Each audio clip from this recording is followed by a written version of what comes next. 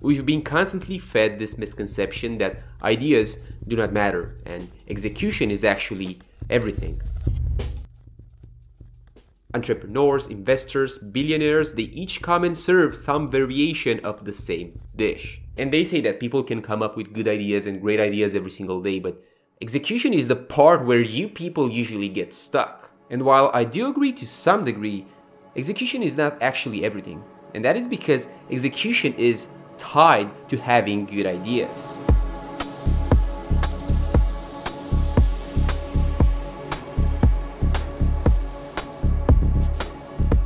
It is quite easy for a billionaire to say that execution is everything as the billionaire will have the means to swiftly build a team that can bring the idea to life. And the billionaire will always hunt for good ideas.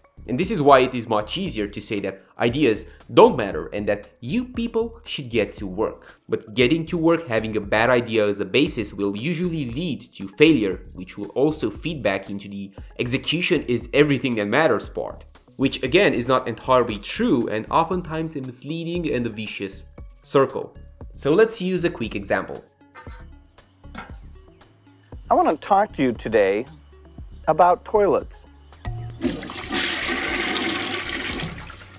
A few years back, the Bill and Melinda Gates Foundation organized a contest called the Reinvent the Toilet Challenge, where researchers had to come up with innovative approaches based on fundamental engineering processes for the safe and sustainable management of human waste. And the challenge was building a toilet that removes germs from human waste and recovers valuable resources such as energy, clean water, and nutrients, operates off the grid without connections to water, sewer, or electrical lines, costs less than 0.0 cents per user per day, promotes sustainable and financially profitable sanitation services and businesses that operate in poor urban settings, and finally is a truly aspirational next generation product that everyone will want to use in developed as well as developing nations.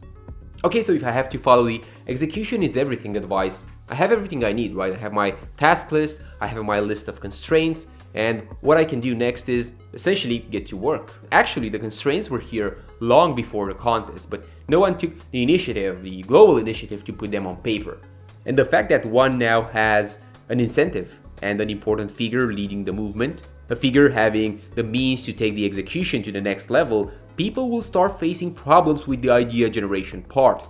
Because again, it's much easier to say that I don't have the capacity to execute, but I do have a lot of ideas.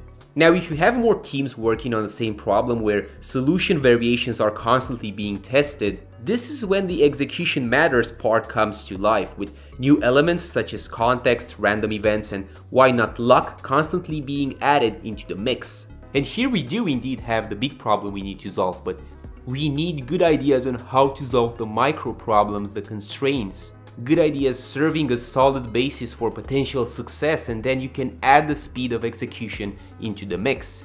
And good ideas are kind of hard to come by mostly because they actually need to pass through a lot of doors. One cannot simply have a great idea just by simply looking at the sky all day. To generate good ideas, one needs to engage in some capacity with the world. One needs to ingest, digest, absorb, listen, and accept criticism and one also needs time to think. So the next time someone starts regurgitating this over-concentrated pop culture sort of platitude, simply remember that good ideas and solutions to problems are only obvious in retrospect, and that execution is and will always be dependent and linked on having great ideas.